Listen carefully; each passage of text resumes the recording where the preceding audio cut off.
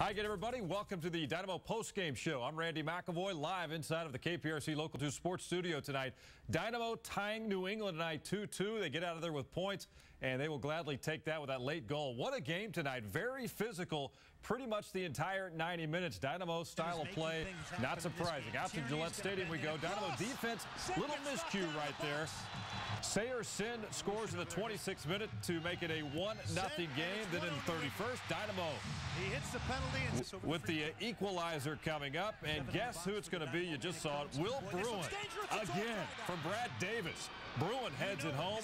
We're all even at one apiece. His fifth. Second half, Revolution answer back. 57th minute. It's Saër Sène once again. He had a great night. On the breakaway, made it 2-1. Then same score, 87th minute. The goal that counted for the Dynamo. They even it up. Brian Ching to Luis Camargo in the 87th minute. How about it? They'll take it. That even the, the match at two apiece, and that would be your final score tonight uh, from Foxborough.